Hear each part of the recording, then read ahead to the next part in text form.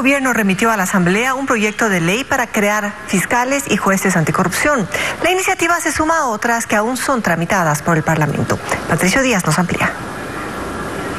El secretario anticorrupción Iván Granda entregó el proyecto al presidente de la Asamblea.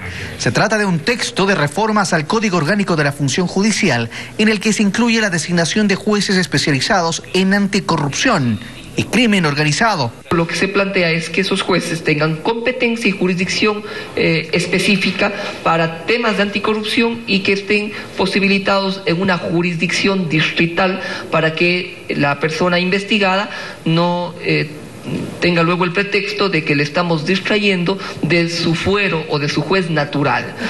El proyecto irá a la Comisión de Justicia, que ya tiene avanzado un informe para segundo debate de reformas al mismo código. La presidenta de esa mesa legislativa dice que se analizará la forma de procesar la propuesta entre las prioridades. Y en base a ello establecer si en efecto le damos un tratamiento como primero y segundo debate, es decir, como un nuevo proyecto, o si lo, mejor es, eh, por, en, aras de ahorrar tiempo, de pronto que sea calificado y que vaya como un insumo al documento eh, que ya se está tramitando en este momento y que debe ser debatido en segundo debate.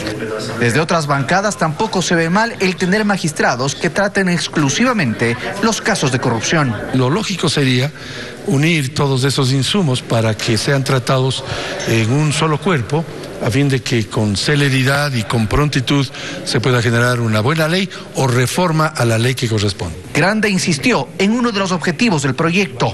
Nunca más una justicia del lado de los corruptos y que libere a delincuentes. El proyecto pasa así al Consejo de Administración Legislativa CAL y este lo remitirá a la Comisión.